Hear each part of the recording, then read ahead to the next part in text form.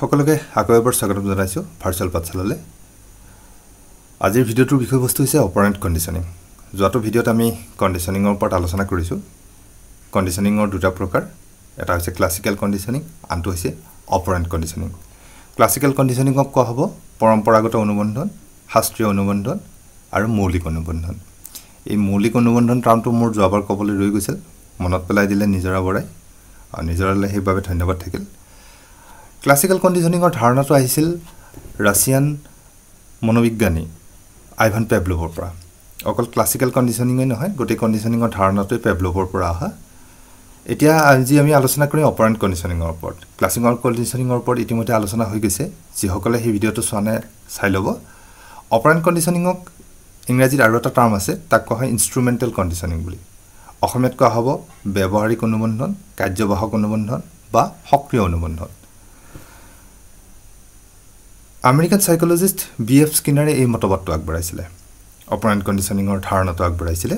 তেখেতৰ জন্ম হৈছিলে ঊনৈছশ চাৰি চনত মৃত্যু হৈছিলে ঊনৈছশ নব্বৈ চনত। তেখেত ৱাটছন পেভলভ থৰ্ণডাইক আটাইকেইজনৰে অনুজ আছিলে।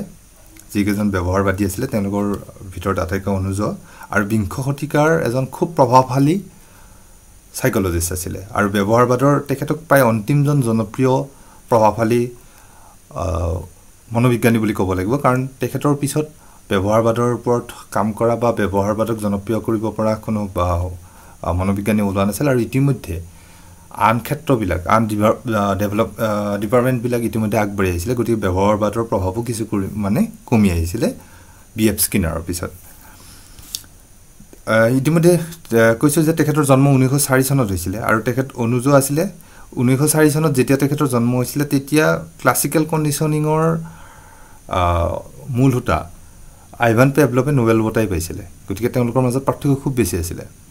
ক্লাছিকেল কণ্ডিশ্যনিং আগবঢ়াই ইতিমধ্যে নোবেল বঁটা পাইছিল ঊনৈছশ চাৰি চনত। থণ্ডাইকো জন্ম এইটিন ছেভেণ্টি ফ'ৰত গতিকে স্কিনাৰৰ ওপৰত পেভলভ থৰ্ণডাইক আৰু ৱাটছন আটাইকেইজনৰ খুব প্ৰভাৱ আছিলে। আৰু তেখেতে যিটো অপাৰেণ্ট কণ্ডিশ্যনিঙৰ যি তত্ত্ব যি ধাৰণা আগবঢ়াইছে সেইটোক কাৰ পৰা প্ৰভাৱিত? সেইটো হৈছে থৰ্ণডাইকৰ শিক্ষণৰ যিটো তৃতীয় নীতি আছিলে ফলাফলৰ নীতি ল অফ এফেক্ট সেইটোৰ পৰা প্ৰভাৱিত। আৰু সেইটোকে তেখেতে কি কৰিছিলে? ডেভেলপ কৰিছিলে। এইখিনিতে আপোনালোকে থৰ্ণডাইকৰ শিক্ষণৰ প্ৰধান নীতিকেইটা মনত ৰাখিব। আছেনে মনত? প্ৰধান নীতিকেইটা আছিল কি? ল অফ ৰেডিনেছ প্ৰস্তুতিৰ নীতি ল অফ এক্সাৰচাইজ অনুশীলনৰ নীতি। ল অফ এফেক্ট ফলাফলৰ নীতি। এই ফলাফলৰ নীতিমতে কি থণ্ডাকে কি কৈছিলে? থণ্ডাকে কৈছিলে যে কোনো এক কাৰ্য আকৌ জীৱ এটাই বা মানুহে কৰিব নে নকৰিব সেইটো নিৰ্ভৰ কৰিব সেই কাৰ্যটোৰ বা সেই আচৰণটোৰ পৰা লাভ কৰা ফলাফলৰ পৰা এন ৰিজাল্টটোৰ পৰা। এন ৰিজাল্টটো যদি ভাল হয় পৰিণাম যদি ভাল হয় তেতিয়াহ'লে মানুহে সেই একেটা কামে বাৰে বাৰে কৰিব। আৰু যদি এন ৰিজাল্টটো বেয়া হয় পৰিণামটো যদি বেয়া হয় ফলাফলটো যদি বেয়া হয় তেতিয়াহ'লে সেই কামটো নকৰে। এইটো কোনে কৈছিলে? এইটো কৈছিলে থণ্ডাইকে। তেখেতৰ ফলাফলৰ নীতিত ল অফ এফেক্টৰ এই কথাটোকে কি কৰিলে? বি এফ স্কিনাৰে ডেভেলপ কৰিলে আৰু তেখেতৰ নিজা এক্সপেৰিমেণ্টেৰে তেখেতে অপাৰেণ্ট কণ্ডিশ্যনিং কাৰ্যবাহক অনুবন্ধন বা ব্যৱহাৰিক অনুবন্ধনৰ যি ধাৰণা সেইটো আগবঢ়াইছিলে। এতিয়া আমি এটা কথা মন কৰিব। থণ্ডাইক পেভলভ আৰু স্কিনাৰ এওঁলোকৰ যিবোৰ এক্সপেৰিমেণ্ট এইবিলাকৰ মাজত বহুত বেছি পাৰ্থক্য নাই। সামান্য সৰু সৰু কথা কিছুমানৰ মাজত পাৰ্থক্য আছে। ফলত কি হয় যিসকলে চাইক'লজি ক্ষেত্ৰখনৰ পৰা অহা নাই বা চাইক'লজি পঢ়া নাই আগতে অকল নিৰ্দিষ্ট এটা এক্সামৰ কাৰণে প্ৰিপেৰেশ্যন কৰিছে তেওঁলোকৰ পায়ে খেলি মেলি হয়। আৰু হোৱাটো স্বাভাৱিকো। ফলত কি হয় কেতিয়াবা থণ্ডাইকো যিটো শুদ্ধ উত্তৰ সেইটো গৈ স্কিনাৰত লিখি থৈ অহা যায়। আৰু স্কিনাৰ শুদ্ধ উত্তৰ হোৱাটো থণ্ডাইকত হয়। কাৰণ পাৰ্থক্যটো সামান্য পাৰ্থক্য যে ধৰাত অলপ অসুবিধা হয়তো। গতিকে এই ভিডিঅ'টোত আমি সেই পাৰ্থক্যখিনি কোনখিনি জেগাত পাৰ্থক্য আছে সেইখিনি জানিবলৈ চেষ্টা কৰিম। স্কিনাৰ পেভলভ আৰু থণ্ডাইকৰ মাজত। এতিয়া আহিছোঁ আমি স্কিনাৰৰ এক্সপেৰিমেণ্টটোৰ ওপৰত তেখেতৰ যিটো সম্পৰীক্ষাটো আছিলে। স্কিনাৰে সম্পৰীক্ষাসমূহ চলাইছিল কাৰ ওপৰত? পাৰ চৰাই আৰু নিগনিৰ ওপৰত। এইখিনিতে আৰু এটা কথা আনকেইজনে কাৰ ওপৰত চলাইছিল সেইটোও আপুনি ধাৰণা এটা ৰাখি থ'ব। থৰ্ণডাকে কিহৰ ওপৰত চলাইছিল? প্ৰধানভাৱে মেকুৰীৰ ওপৰত। কহলাৰে কহলাৰৰ চিম্পাঞ্জিৰ ওপৰত আছিলে। চিম্পাঞ্জিটোৰ নাম ৰাখিছিলে কি? চুলতান। পেভলভৰ যোৱাটো ভিডিঅ'ত কৈছোঁ কুকুৰৰ ওপৰত আছিলে। ন? গতিকে এই কোনে কি জীৱ জন্তুৰ ওপৰত এক্সপেৰিমেণ্ট চলাইছিল সেইটো অকণমান ধাৰণা ৰাখি থ'ব। প্ৰশ্ন আহিব পাৰে। স্কিনৰ যিটো অপাৰেণ্ট কণ্ডিশ্যনিং সেইটো আছিলে প্ৰধানভাৱে নিগনিৰ ওপৰত। নিগনি এটাৰ ওপৰত তেখেতে কি কৰিছিলে? এক্সপেৰিমেণ্টটো চলাইছিলে। তাৰ কাৰণে কি কৰিছিলে? তেখেতে এটা বক্স এটা লৈছিলে যিটোক স্কিনাৰ বক্স বুলি কয়। সেইটোত কি হয় আমি সাধাৰণভাৱে খুব চুটিকৈ জানি লৈছোঁ। সেই বক্সটোৰ ভিতৰত নিগনিটো সোমাই দিলে। প্ৰথম অৱস্থাত নিগনিটো তাতে থাকিলে এডজাষ্টমেণ্ট এটা কৰিলে। যেতিয়া তাৰ ভোক লাগিব আৰম্ভ কৰিলে সি কি কৰিব বক্সটোৰ ভিতৰত য'তে ত'তে কি হ'ব? ৰেণ্ডমলি খুন্দিয়াবলৈ আৰম্ভ কৰিব। স্বাভাৱিক কথা অস্থিৰতা বাঢ়ি যাব ভোকৰ লগে লগে। এনেকৈ খুন্দিয়াই থাকোঁতে কি হয়? স্কিনাৰ এটা ব্যৱস্থা ৰাখিছে যে তাত এটা লিভাৰ এডাল ৰাখিছিল য'ত খুন্দিয়ালে কি হয়? খাদ্য আহি বক্সটোৰ ভিতৰলৈ সোমাই আহে খাদ্যৰ সৰু টুকুৰাবিলাক। নিগনিতে ৰেণ্ডমলি অ'ত ত'ত ত'ত খুন্দিয়াই ফুৰোঁতে এটা সময়ত কি হয় সেই লিভাৰডালত খুন্দাটো খায়। খুন্দাটো খালে কি হয় খাদ্য আহে। তাৰপিছত কি হয় লাহে লাহে নিগনিটোৱে যেতিয়াই ভোক লাগে অ'ত ত'ত খুন্দিয়াই ফুৰে সেই লিভাৰডালত খুন্দিয়াই আকৌ খাদ্য আহে। প্ৰথম অৱস্থাত কিন্তু এইটো যে ঘটনা হৈছে লিভাৰডালত যিটো খুন্দিয়াই খুন্দিয়াইছে নিগনিটো এইটো এক্সিডেণ্টলি এইটো কোনো ধৰণৰ তাৰ নলেজ নাই। ইয়াৰ ওপৰত কোনো ধৰণৰ তাৰ জ্ঞান নাই যে লিভাৰডালত খুন্দিয়ালে হ'ব বুলি নাজানে। কিন্তু সি ৰেচপঞ্চ কৰি আছে। য'তে ত'তে সি ৰেচপঞ্চ কৰি আছে য'তে ত'তে খুন্দি আছে। ফলত কি হৈ গ'ল? এটা সময়ত লিভাৰডালত খুন্দা খালে আৰু খাদ্য আহি সোমালে। কিন্তু লাহে লাহে কি হয় নিগনিটোৰ সেই বোধটো আহে সেই জ্ঞানটো আহিব ধৰে যে বাকী জেগাত খুন্দিয়াই লাভ নাই। খুন্দিয়াব লাগিব ক'ত? লিভাৰডালত লিভাৰডালত খুন্দিয়ালেহে কি হ'ব? খাদ্য আহিব। লাহে লাহে কি হয় সি সেই কথাটো শিকি লয় আৰু সেই লিভাৰডালত খুন্দিয়াব আৰম্ভ কৰে যেতিয়া তাৰ ভোক লাগে। তো নিগনিটোৰ যিটো ব্যৱহাৰ যিটো আচৰণ সেই আচৰণৰটোক নিৰীক্ষণ কৰিয়েই স্কিনাৰে কি কৰিছিলে? এই অপাৰেণ্ট কণ্ডিশ্যনিং অপাৰেণ্ট কণ্ডিশ্যনিঙৰ ধাৰণাটো মতবাদটো আগবঢ়াইছিলে। এই কথাটোৰ পৰা আমি কি লক্ষ্য কৰিব পাৰোঁ? তেখেতৰ যিটো স্কিনাৰ যিটো অপাৰেণ্ট কণ্ডিশ্যনিঙৰ যিটো তত্ত্ব তাৰ পৰা আমি কি কথা পাওঁ? ডেভেলপৰ ক্ষেত্ৰত কি আছিলে? ষ্টিমুলাছৰ দৰকাৰ আছিলে। আগৰ ভিডিঅ'ত মনত আছে? কুকুৰ এটা শিকলিৰে বান্ধি ৰাখিছিলে আগত কি হৈছিল? খাদ্য। মাংসৰ বাতি এটা দি থৈছিলে। ফলত কি হৈছিলে? কুকুৰটোৰ মাংসৰ বাতিটো দেখি জিভাৰ পানী পৰিছিলে আৰু শিক শিকলিডাল ছিঙিবলৈ চেষ্টা কৰিছিল। মাংসৰ বাতিটো কি আছিলে? উদ্দীপক ষ্টিমুলাছ আৰু সি যে জিভাৰ পানী পৰিছিল সেইটো আছিলে তাৰ ৰিয়েকশ্যন সেইটো কাৰ আছিলে? পেভলভৰ কিন্তু স্কিনাৰৰ ক্ষেত্ৰত কোনো ধৰণৰ ষ্টি ষ্টিমুলাছৰ প্ৰয়োজন হোৱা নাই ষ্টিমুলাছ ব্যৱহাৰ হোৱা নাই। স্কিনাৰে ইয়াতে কি কৰিছে? ষ্টিমুলাছ ব্যৱহাৰ কৰা নাই ইয়াতে কি কৰিছে? প্ৰথমতে ৰেচপঞ্চ নিগনিটোৱে য'তে ত'তে খুন্দিয়াই ফুৰিছে। ফুৰাৰ ফলত কি হৈছে? ৰেচপঞ্চ দিয়াৰ ফলতহে খাদ্যটো আহিছে মানে ষ্টিমুলাছ পিছত আহিছে। আগতে ৰেচপঞ্চ দিছে। কিন্তু পেভলভৰ ক্ষেত্ৰত ওলোটা আছিল। পেভলভে আগতে তাৰ ষ্টিমুলাছ আছিলে উদ্দীপক দিছিলে তাৰপিছতে তাৰ ৰিয়েকশ্যন আহিছিলে। আৰু স্কিনাৰৰ ক্ষেত্ৰত ওলোটা হৈ গ'ল। আগতে ৰেচপঞ্চ দিব ত'ত খুন্দিয়াই ফুৰিব তাৰপিছতহে ষ্টিমুলাছ আহিব। সেইকাৰণে স্কিনাৰৰ যিটো অপাৰেণ্ট কণ্ডিশ্যনিং ইয়াক কোৱা হয় আৰ প্ৰকাৰৰ অনুবন্ধন বা আৰ টাইপ আৰ টাইপৰ কি হয়? কণ্ডিশ্যনিং আৰ টাইপ কণ্ডিশ্যনিং আৰু পেভলভৰটোক কোৱা হয় এছ টাইপ কণ্ডিশ্যনিং আৰ প্ৰকাৰৰ অনুবন্ধন আৰু এছ প্ৰকাৰৰ অনুবন্ধন। আৰু স্কিনাৰৰ এইটোক আৰ এছ প্ৰকাৰৰ অনুবন্ধন বুলিও কোৱা হয়। আৰটো কি বুজাইছে? ৰেচপঞ্চ এছটো কি বুজাইছে? ষ্টিমুলাছ মানে স্কিনাৰৰ ক্ষেত্ৰত ৰেচপঞ্চটো প্ৰথমতে তাৰপিছতহে কি আহিব? ষ্টিমুলাছ আহিব। কিন্তু পেভলভৰ ক্ষেত্ৰত কি হয়? এছটো আহিব প্ৰথম। ষ্টিমুলাছ প্ৰথম। তাৰপিছতহে কি হ'ব? ষ্টিমুলাছ দেখাৰ পিছতহে ৰেচপঞ্চটো আহিব। উদ্দীপক প্ৰথমতে। আৰু দ্বিতীয় কথাটো কি হ'ল? তৃতীয় কথাটো হৈছে এন ৰিজাল্টৰ ওপৰত নিৰ্ভৰ কৰিব। বি এফ স্কিনাৰে দেখুৱাইছিল যে ইয়াত কাৰ্য এটাৰ পৰিণামে কি কৰিব? সেই কাৰ্যটো আকৌ কৰিম নে নকৰিম তাক নিৰ্ভৰ কৰাব আমাৰ সেই কোনো এটা কাৰ্য কৰাৰ পিছত কোনো এটা বিহেভিয়াৰ বা কোনো এটা আচৰণ আমি কৰাৰ পিছত সেই আচৰণটোৰ ফলাফল কি হ'ব? অভিজ্ঞতাটো কি? সেই আচৰণটোৰ অভিজ্ঞতাই আমাক নিৰ্ভৰ কৰিব যে আমি কামটো আকৌ কৰিম নে নকৰিম। এতিয়া পেভলভ আৰু স্কিনাৰৰ যি কণ্ডিশ্যনিং এই দুটা পাৰ্থক্য বুজিবলৈ মই এটা উদাহৰণ আপোনালোকক দিছোঁ।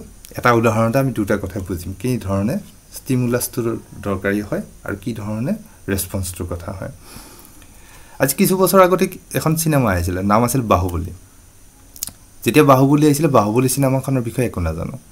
এদিন কিবা টাইমছ অফ ইণ্ডিয়া নে ক'ৰবাত আৰ্টিকুল এটা দেখিলোঁ যে বাহুবলীখন ভাৰতৰ আটাইতকৈ খৰচী চিনেমা যেতিয়া গম পালোঁ যে আটাইতকৈ খৰচী দুশ পঞ্চাছ কোটিতকৈ বেছি টকা খৰচ হৈছে লগে লগে কি হ'ল ছবিখন চোৱাৰ প্ৰতি মোৰ আগ্ৰহ বাঢ়ি গ'ল। লোভ লাগি গ'ল। এই যে ছবিৰ খৰচৰ হিচাপটো এইটো মোৰ কাৰণে আছিলে উদ্দীপক মোক কি কৰিলে সি লোভ লগাই দিলে যে ছবিখন চাব লাগে ইমান টকা খৰচ হৈছে যদি তাক চাব যাবই লাগিব। আপুনি এই কথাটোক বুজিব পাৰে পেভলভৰ ক্লাছিকেল কণ্ডিশ্যনিঙৰ লগত। ইয়াতে ষ্টিমুলাছ কোনটো আছিলে? ছবিখনৰ খৰচ। দুশ পঞ্চাছ কোটি টকা খৰচ হোৱা বুলি কোৱাৰ লগে লগে সেইটো এটা মোৰ কাৰণে ষ্টিমুলাছ হৈ পৰিলে উদ্দীপক হৈ পৰিলে। আৰু ৰেচপন্সটো কি হৈ গ'ল? মই ছবিখন চাবলৈ বাধ্য হ'লোঁ। মোৰ ছবিখন চাবলৈ গ'লোঁ। এইটো হৈছে এটা ৰেচপন্স এই একেটা কথাকে আমি এতিয়া বুজিম স্কিনাৰৰ লগত। মই বাহুবলী চিনেমাখন চাব গ'লোঁ গৈ কি হ'লোঁ? একেবাৰে আশ্চৰ্যচকিত হ'লোঁ যে বিশ্বমানৰ একশ্যন বিশ্বমানৰ ভি এফ এক্স যিবোৰ আমি হলিউডৰ চিনেমাত দেখোঁ থ্ৰী হাণ্ড্ৰেডৰ নিচিনা তেনেকুৱা ছবিৰ পৰ্যায়ৰ এখন ছবি বনাইছে। ফলত কি হ'ল? দুবছৰ পিছত যেতিয়া বাহুবলীৰ দ্বিতীয় খণ্ডটো আহিলে বাহুবলী কনক্লুজন দ্বিতীয়বাৰ মই নিজে নিজে চাবলৈ গ'লোঁ। মোক এইবাৰ উদ্দীপকৰ প্ৰয়োজন নহ'ল মই কোনো পেপাৰত কোনো আৰ্টিকল পঢ়া নাই কিমান খৰচ হৈছে খবৰ লোৱা নাই কি ভি এফ এক্স কি পষ্ট প্ৰডাকশ্যনৰ কাম হৈছে কি প্ৰমোশ্যন হৈছে একো খবৰ লোৱা নাই। প্ৰথমখনৰ অভিজ্ঞতাই মোক এটা এনেকুৱা সুখানুভূতি দিলে যে মই দ্বিতীয়খন চাবলৈ বাধ্য হ'লোঁ। এতিয়া যদি তৃতীয়খনো ওলায় তৃতীয়খন চাবলৈও মই যাম। কাৰণ কি বাহুবলী ওৱান আৰু বাহুবলী টু দুখনৰ অভিজ্ঞতাই মোক বুজাইছে যে ৰাজামৌলী ডিৰেক্টৰ ৰাজামৌলীয়ে যি চিনেমা বনাব সাংঘাতিক হ'ব। কথাটো তেনেকুৱা। আৰু এই দ্বিতীয় যিটো কথা ক'লোঁ এইটো হৈছে স্কিনাৰৰ অপাৰেণ্ট কণ্ডিশ্যনিঙৰ লগত আপুনি সম্পৰ্কিত কৰিব পাৰে। মানে প্ৰথমৰ কাৰ্যটোৱে মোক অভিজ্ঞতাই যিটো চিনেমা চোৱা যিটো কাৰ্য সেই কাৰ্যটোৰ পৰা মই কি অভিজ্ঞতা লাভ কৰিলোঁ? তাৰ পৰা মোৰ এটা সুখানুভূতি হ'ল। এটা এণ্ড ৰিজাল্টটো ভাল হ'ল পৰিণামটো মই ভাল পালোঁ। তাৰ কাৰণে কি হৈছে মই দ্বিতীয়খন চাবলৈ আগ্ৰহী হ'লোঁ। অকল দ্বিতীয়খনে নহয় দ্বিতীয়খনৰ অভিজ্ঞতাই মোক যিহেতু ভাল এটা ৰিজাল্ট পালোঁ দ্বিতীয়খনৰ পৰা মই তৃতীয়খন চাবলৈ মই কি হৈছোঁ আগ্ৰহী হ'ম তৃতীয়বাৰ চাবলৈ যাম। কিন্তু যদি মই ভাল নাপাওঁ কেতিয়াও চাব নাযাওঁ ধৰা হওক আপুনি স্কুটি এখনলৈ ওলাই গৈছে প্ৰথম দিনাই। গৈয়ে কি হ'ল থামকৈ খুন্দিয়া মাৰিলে আৰু সোমাই গ'ল ট্ৰাকৰ তলত কোনোমতে বাচিলে। আপুনি স্কুটিখন হাত দিব নেকি? অন্ততঃ ছমাহলৈ আপুনি হাত নিদিয়ে।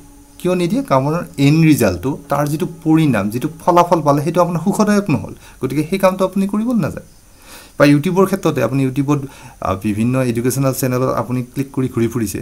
কিন্তু বহুকেইটা চেনেলত ক্লিক কৰাৰ পিছত এটা নিৰ্দিষ্ট চেনেল পালে যে য'ত আপোনাৰ মনে বিচৰাৰ ধৰণে যি ধৰণে আশা কৰিছে তেনেকুৱা আপুনি কি এটা কোৱালিটি পাইছে। ফলত কি হৈছে আপুনি সেই চেনেলটো দ্বিতীয়বাৰ যেতিয়া আহিব ইউটিউবলৈ আপুনি সেই চেনেলটোলৈহে যাব বাকীবোৰ চেনেললৈ আপুনি নাযায়। এইটোৱেই হৈছে অপাৰেণ্ট কণ্ডিশ্যনিঙৰ এটা ধাৰণা। আমি কোনো এটা কাৰ্য কেতিয়া কৰিম সেইটো নিৰ্ভৰ কৰিব তাৰ ফলাফলৰ ওপৰত। এইটো কথা কোনে ক'লে? আমাৰ বি এফ স্কিনাৰে এতিয়া আহিছোঁ আমি অপাৰেণ্ট কণ্ডিশ্যনিঙৰ বেচিক্সটোৰ ওপৰত। অপাৰেণ্ট কণ্ডিশ্যনিঙৰ মূল আধাৰটো দুটা কথাৰ ওপৰত নিৰ্ভৰশীল। এটা হৈছে ৰিএনফৰ্চমেণ্ট আনটো হৈছে পানিছমেণ্ট আপোনালোকে থৰ্ণডাইকৰ যি ফলাফলৰ নীতি আছিলে তাতো দেখিব তাতে এই টপিকটো দুই ধৰণে পাব। এটা হৈছে পুৰস্কাৰৰ নীতি আনটো হৈছে শাস্তিৰ নীতি। কিন্তু স্কিনৰ অপাৰেণ্ট কণ্ডিশ্যনিঙৰ ক্ষেত্ৰত ইয়াক দুই ধৰণত পাব। এটা হৈছে ৰিএনফৰ্চমেণ্ট আনটো পানিছমেণ্ট এতিয়া কথা হ'ল এই ৰিএনফৰ্চমেণ্টক অসমীয়াত কি বুলি কোৱা হ'ব? ৰিএনফৰ্চমেণ্টক অসমীয়াত কোৱা হয় পুনৰ বলন বা পুনৰ্বসন বুলি। ইয়াৰ অৰ্থটো কি হ'ল? ইয়াৰ অৰ্থটো হৈছে শিশু এটাক কোনো এটা কাৰ্য বা কোনো এটা আচৰণ বাৰে বাৰে কৰিবলৈ উৎসাহিত কৰিবৰ বাবে আমি যি আহিলাৰ সহায় লওঁ সেইটোৱেই হৈছে পুনৰ্বসন। সেইটোৱেই হৈছে ৰিএনফৰ্চমেণ্ট এক কথাত ৰিএনফৰ্চমেণ্ট হৈছে শিশু এটাক কোনো এটা কাম কৰিবলৈ বা কোনো এটা আচৰণ বাৰে বাৰে কৰিবৰ কাৰণে আমি আগবঢ়োৱা প্ৰেৰণা বা মটিভেশ্যন এইটোৱেই হৈছে ৰিএনফৰ্চমেণ্ট এতিয়া এই ৰিএনফৰ্চমেণ্টৰ ওপৰত বি এফ স্কিনাৰে খুব গুৰুত্ব প্ৰদান কৰিছিলে আৰু তেখেতে এই ৰিএনফৰ্চমেণ্টক দুই ধৰণত ভাগো কৰিছিলে। এটা হৈছে ধনাত্মক পুনৰ্বসন আনটো হৈছে ঋণাত্মক পুনৰ্বলন বা পুনৰ্বসন। এতিয়া পজিটিভ ৰিএনফৰ্চমেণ্ট পজিটিভ ৰিএনফৰ্চমেণ্টে কি বুজাব?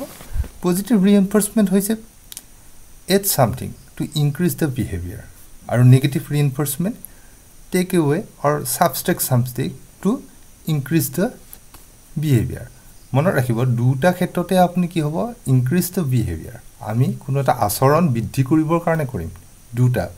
আচৰণটো যাতে শিশু এটাই আৰু কৰে তাৰ কাৰণে কৰিম। এটা পজিটিভ ৱে আনটো হৈছে নেগেটিভ ৱে কিন্তু উদ্দেশ্য একেটাই। দুটাৰে উদ্দেশ্য ৰিএনফৰ্চমেণ্ট কৰাই দুটাৰ উদ্দেশ্য মটিভেশ্যন কৰাই দুটাৰ উদ্দেশ্য প্ৰেৰণা যোগায়। এতিয়া প্ৰথমতে আমি জানি ল'ম এইটো পজিটিভ ৰিএনফৰ্চমেণ্ট কি ধৰণৰ হয় আৰু নিগেটিভ ৰিএনফৰ্চমেণ্ট কি ধৰণৰ হয়। দুটাৰ কাৰণে আমি এটা উদাহৰণে লওঁ এটা সৰু ল'ৰা সেই কি কৰিছে পৰীক্ষাত খুব ভাল ৰিজাল্ট কৰিছে।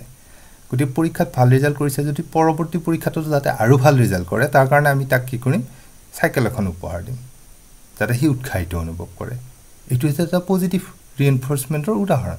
আপুনি কলেজৰ ছাত্ৰ এজনকো ধৰিব পাৰে যে কলেজৰ ছাত্ৰ এজনে যদি ভাইটি এজন সি যদি ফাৰ্ষ্ট ক্লাছ পাইছে ফাৰ্ষ্ট ছেমত তেতিয়াহ'লে আমি তাক এটা স্মাৰ্টফোন উপহাৰ দিছোঁ যাতে সি পিছৰ ছেকেণ্ড ছেমতো কি হয় উৎসাহিত হয় যাতে কি হয় ফাৰ্ষ্ট ক্লাছ পাবলৈ উৎসাহিত হয়। তাৰ কাৰণে আমি এটা স্মাৰ্টফোন আমি কি কৰিছোঁ উপহাৰ দিছোঁ।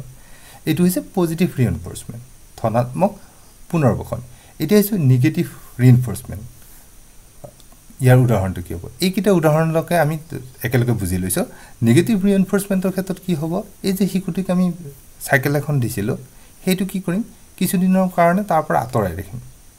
Subtract something take away something to increase the behaviour তাৰ হেৰিটো একে ৰাখিবৰ কাৰণে আমি কি কৰিম? তাৰ পৰা চাইকেলখন কিছুদিন বন্ধ কৰি ৰাখিম যে পৰীক্ষা আছে তোমাৰ এসপ্তাহ পিছত। গতিকে তুমি আৰু চাইকেল চুব নোৱাৰা। তেতিয়াহে পাবা পৰীক্ষা যেতিয়া শেষ কৰিব আৰু পৰীক্ষাত যেতিয়া ভাল কৰিবা। তাৰ কাৰণে কি হ'ব? শিশুটোৱে ভালদৰে পঢ়িবলৈ বাধ্য যে চাইকেলখন নহ'লে নাপাব পাৰোঁ। তেনেকুৱা এটা ভাৱ আহিব গতিকে সি পঢ়িবলৈ বাধ্য। কিছুদিনৰ কাৰণে আঁতৰাই ৰাখিছোঁ। নিগেটিভ বুলি কোৱাৰ লগে লগে আকৌ নাভাবিব যে এইটো কিবা পানিছমেণ্ট টাইপৰ নেকি? নহয় দুটাৰে উদ্দেশ্য কিন্তু ৰিএনফৰ্চমেণ্ট নেই উদ্দেশ্য তাক কি কৈছে? মটিভেট কৰাই বা ডাঙৰ ল'ৰাটোৰ যে কথা কৈছিলোঁ কলেজত পঢ়া ল'ৰাটোৰ যে কথা কৈছিলোঁ তাৰ ক্ষেত্ৰতো কি হ'ব? পৰীক্ষা আছে তোমাৰ তিনিদিন পাছত গতিকে তুমি কি মোবাইল ব্যৱহাৰ কৰিব নোৱাৰা। মোবাইলটো মোৰ লগত থাকিব। এই তিনিদিন মোৰ লগত থাকিব। তিনিদিন পিছতহে তুমি মোবাইলটো পাবা। তাৰ পৰা কি হ'ল? আমি কিছুদিন আঁতৰাই ৰাখিছোঁ মোবাইল ফোনটো। কিহৰ কাৰণে? পৰীক্ষাটো যাতে সি ভালদৰে দিয়ে। আৰু সিও তেতিয়া কি হ'ব? মোবাইলটোৰ কাৰণে কি হ'ব? মোবাইলটোতো ঘূৰাই পাব লাগিব। গতিকে পৰীক্ষাটো ভালদৰে দিব লাগিব। এইটো কিছুদিনৰ কাৰণে আঁতৰাই ৰাখিছোঁ। এইটোৱেই হৈছে নিগেটিভ ৰিএনফৰ্চমেণ্ট একেধৰণে পানিছমেণ্টৰ ক্ষেত্ৰতো পজিটিভ আৰু নিগেটিভ দুটা থাকিব। পজিটিভ নিগেটিভ দুটা কোৱাৰ আগতে আমি পানিছমেণ্টটো পাৰ্পাছটো কি জানি লওঁ পানিছমেণ্টৰ পাৰ্পাছটো হৈছে to decrease the behaviour specific কোনোবা এটা বিহেভিয়াৰ আমি কি কৰিব? ডিক্ৰিজ কৰিবৰ কাৰণে কমাবৰ কাৰণে। যদি বেয়া অভ্যাস এটা গঢ় লৈছে বেয়া আচৰণ যদি কিবা কৰিছে আমি তাক কেনেকৈ কমাব পাৰোঁ? তাৰ কাৰণে কি কৰিব লাগিব? আমি শিশু এটাক পানিছমেণ্ট দিম। এতিয়া এই পানিছমেণ্ট পজিটিভ নিগেটিভ দুধৰণৰ হ'ব। পজিটিভৰ ক্ষেত্ৰত আমি কিছু তাত কিবা এটা অন্তৰ্ভুক্ত কৰিম নিগেটিভৰ ক্ষেত্ৰত কিছু এটা আঁতৰাই লৈ যাম। উদ্দেশ্য কিন্তু একেটাই দেই। কি হৈছে? ডিক্ৰিজ স্পেচিফিক বিহেভিয়াৰ কিবা এটা বিশেষ আচৰণ আমি কমাবৰ কাৰণে তাক পানিছমেণ্ট দিম। এটা হৈছে পজিটিভ ৱে আনটো হৈছে নিগেটিভ ৱে এতিয়া কি পজিটিভ পানিছমেণ্ট কি? ধনাত্মক অনুশাসনটো কি হ'ব? শাস্তিটো কি হ'ব? আমি কি কৰিম? সেই শিশুটোক কিবা এটা কাম দিম বেছিকৈ কাম দিম। ধৰা হওক এজন শিশুৱে কি হয় বাহিৰত খুব খেলি ঘূৰি ঘূৰি থাকে স্কুললৈ নাহে গতিকে মাজে মাজে আহে স্কুললৈ। গতিকে সি কি হয় বন্ধ বাৰত বহুত ঘূৰি ফুৰি কাৰণে আমি কি কৰিলোঁ বন্ধ বাৰত তাক এনেকুৱাকৈ হোমৱৰ্ক দিলোঁ যাতে সেই ল'ৰাটোৱে বাহিৰত ঘূৰি ফুৰিবলৈ কোনো স্কোপ নাপায়। সেইটো কি হৈছে এটা পজিটিভ পানিছমেণ্ট। পানিছমেণ্ট দিছোঁ কিন্তু তাৰ বাহিৰত ঘূৰি ফুৰা স্বভাৱটো কি কৰিছোঁ কমাবৰ কাৰণে তাক পানিছমেণ্ট দিছোঁ ঘৰতে বন্দী কৰি ৰাখিছোঁ হোমৱৰ্কৰ দ্বাৰা। এইটো হৈছে পজিটিভ পানিছমেণ্ট এতিয়া নেগেটিভ পানিছমেণ্ট কি? নেগেটিভ পানিছমেণ্ট হৈছে তাৰ কিবা এটা বেয়া স্বভাৱ গঢ় লৈ উঠিছে। ধৰা হওক কোনো এজন মানুহৰ লগত লগ লাগি সি নিচাযুক্ত দ্ৰব্য কিবা সেৱন কৰা হৈছে। গতিকে সেই স্বভাৱটো আঁতৰ কৰিবৰ কাৰণে আমি কি কৰিম? মানুহজন যিজন মানুহৰ লগত সি লগ হৈ থাকে সেই মানুহজনৰ পৰা তাক কি কৰিম? ছেপাৰেট কৰিম। আৰু তাক এনেকুৱা ধৰণৰ শাস্তি দিম যে সেই মানুহজনৰ লগত তাক সংগ ল'বৰ সুযোগ নিদিম। এইটো এটা পানিছমেণ্ট কাৰণ সি মানুহজনক ভাল পায় মানুহজনৰ লগত থাকি ভাল পায়। কিন্তু তাৰ বেয়া স্বভাৱটো আঁতৰাবৰ কাৰণে আমি সেই মানুহজনৰ পৰা তাক সম্পূৰ্ণৰূপে ছেপাৰেট কৰিছোঁ। এইটো হৈছে কি? নেগেটিভ পানিছমেণ্ট কথাটো বুজিছেনে? এতিয়া এই ৰিএনফৰ্চমেণ্টৰ ওপৰত তেখেতে বহুতখিনি পি এফ স্কিনাৰে আলোচনা আগবঢ়াইছে। কেতিয়া ৰিএনফৰ্চমেণ্ট কৰিব লাগিব ৰিএনফৰ্চমেণ্টৰ সময় কি? এইখিনিৰ ওপৰত তেখেতে বক্তব্য আগবঢ়াইছিলে আৰু তাক তেখেতে নাম দিছিলে চিডিউল অফ ৰিএনফৰ্চমেণ্ট এতিয়া চিডিউলটো কি ধৰণৰ? কেতিয়া কি ধৰণে দিব লাগিব? তাৰ ওপৰত কি মন্তব্য আগবঢ়াইছে তেখেতে? এই চিডিউলটো হৈছে এটা কণ্টিনিউৱাছ আনটো হৈছে পাৰ্চিয়েল কণ্টিনিউৱাছ ৰিএনফৰ্চমেণ্ট কোনটো হ'ব? কণ্টিনিউৱাছ ৰিএনফৰ্চমেণ্ট সেইটো যিটো আমি কি হয় কণ্টিনিউৱাছলি দিব ধৰোঁ। ধৰা কিবা এটা কাম কৰিছে ভাল পাইছোঁ লগে লগে তাক এটা পুৰস্কাৰ দিছোঁ।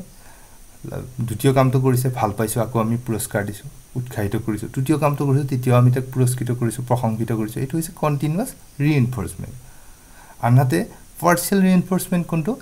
আমি কাম এটা কৰিছে প্ৰথমটোত আমি উৎসাহিত কৰিছোঁ দ্বিতীয়বাৰ কৰিছে কৰা নাই তৃতীয়বাৰত কৰাইছোঁ কৰা নাই চতুৰ্থবাৰত আমি আকৌ প্ৰশংসা কৰিছোঁ।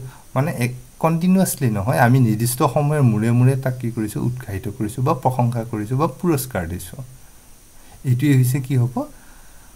পাৰ্চিয়েল ৰিএনফৰ্চমেণ্ট গতিকে মোটামুটিভাৱে এইখিনি হৈছে আমাৰ বি এফ স্কিনৰ অপাৰেণ্ট কণ্ডিশ্যনিঙৰ মূল কথা।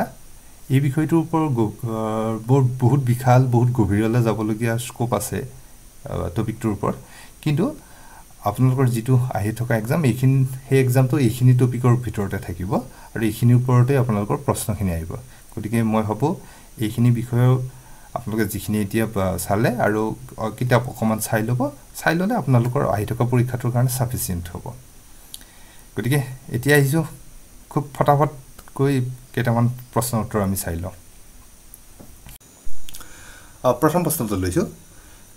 শিক্ষণৰ অনুবন্ধনবাদৰ তত্ত্বৰ উদ্ভাৱক আছিল থণ্ডাইক কলাৰ স্কিনাৰ পেভলভ। শুদ্ধ উত্তৰ কি হ'ব? অনুবন্ধনবাদৰ উদ্ভাৱক আইভন পেভলভ। দুই নম্বৰ প্ৰশ্ন ব্যৱহাৰিক অনুবন্ধনবাদৰ জন্মদাতা কোন আছিল? Skinner Watson John Locke Kelvin. শুদ্ধ উত্তৰ কি হ'ব? স্কিনাৰ। তিনি নম্বৰ প্ৰশ্ন ব্যক্তিয়ে যিটো উদ্দীপকৰ প্ৰতি এটা বিশেষ প্ৰতিক্ৰিয়া কৰে আৰু সেই উদ্দীপকৰ অবিহনে ব্যৱহাৰ কৰা অন্য এটা উদ্দীপকৰ সহায়তো যেতিয়া একেই প্ৰতিক্ৰিয়া আদায় কৰা হয় তেতিয়া তেওঁৰ সেই প্ৰতিক্ৰিয়াক কোৱা হয় স্বাভাৱিক প্ৰতিক্ৰিয়া অস্বাভাৱিক প্ৰতিক্ৰিয়া অনুবন্ধিত প্ৰতিক্ৰিয়া। শুদ্ধ উত্তৰ কি হ'ব? আপোনালোকে কুকুৰটোলৈ মনত পেলাওক কুকুৰটোৰ আগত কি কৰিছিলোঁ? বাতি এটা মাংস ৰাখিছিলোঁ। জিভাৰ পানী নিজে নিজে পৰিছিল। পিছত বেল এটা বজালেও কি হ'ল? জিভাৰ পানী পৰা হ'ল। মানে অন্য এটা উদ্দীপকেৰে হৈ একেধৰণৰ প্ৰতিক্ৰিয়াই পাইছিলোঁ। গতিকে তাক কি কোৱা হয়? চি আৰ ন? অনুবন্ধিত প্ৰতিক্ৰিয়া। পেবলভৰ অনুবন্ধন পদ্ধতিত পৰীক্ষাগাৰত ব্যৱহাৰ কৰা জন্তুটো আছিল চিম্পাঞ্জী কুকুৰ মেকুৰী নিগনি। শুদ্ধটোৰ কি এইমাত্ৰ ক'লোৱে কি আছিলে? কুকুৰ কুকুৰ ব্যৱহাৰ কৰা হৈছিল পেবলভৰ ক্ষেত্ৰত। নেক্সট কুৱেশ্যন উদ্দীপকৰ স্থানতকৈ প্ৰতিক্ৰিয়াৰ স্থানক অগ্ৰাধিকাৰ দি আৰ এছ সংযোগ সূত্ৰ অধিক কাৰ্যকৰী বুলি কৈছিল। এ থণ্ডাইকে বি পেভলভে চি কহলাৰে ডি স্কিনাৰে। শুদ্ধ উত্তৰ কি হ'ব? শুদ্ধ উত্তৰটো কমেণ্ট বক্সত কৰি লিখক। সকলোকে ধন্যবাদ জ্ঞাপন কৰিছোঁ ভিডিঅ'টো চোৱাৰ বাবে। ভালে থাকক কুশলে থাকক পঢ়া শুনা ভালদৰে কৰি থাকক। আৰু আজিলৈ ইমানতে এই ভিডিঅ'টো সামৰিছোঁ। ধন্যবাদ।